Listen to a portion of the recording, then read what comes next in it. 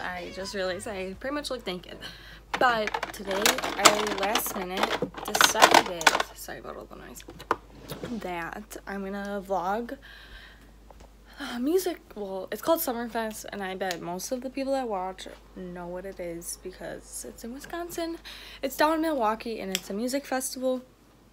And tonight I'm going to see Lil Uzi and he's a rapper for people that don't know. But if you don't know Lil Uzi, you're probably under a rock right now. So I just got ready, makeup done. Don't mind that huge zit that like literally just popped up, and I doubt it will go away and then leave a mark. And it's just fine. Life's good. But I just grabbed my chapstick and lipstick that I'm wearing and I'll tell you what it is.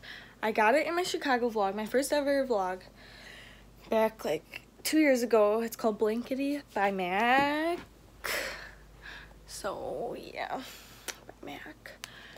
And now I just have to casually climb up in my closet and grab my black purse to match my black shirt. So just cut me off. So I don't know if I'm gonna use my black purse or not.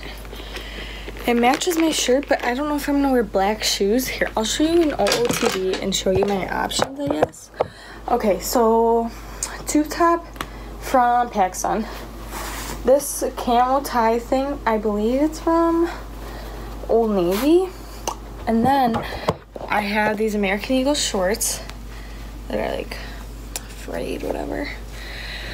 And for shoes, I could wear Adidas Gazelles I could wear these black slides, but I feel like these would be hardest to walk in, or my Birks, which are right here. But these are brown. But the shoes are, I don't know. I'll look at the options, I guess, and how they look on and decide them.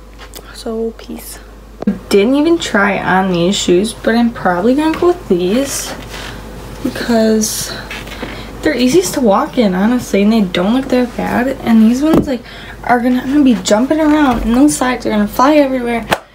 And these ones are just gonna get uncomfortable and gross, so we're just gonna go with these ones.